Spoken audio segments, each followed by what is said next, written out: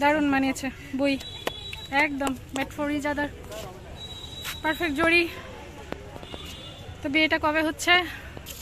বর্মশাই, আমার ননদিনীর বর, পছন্দ হয়েছে খুব। একটু হাক কর।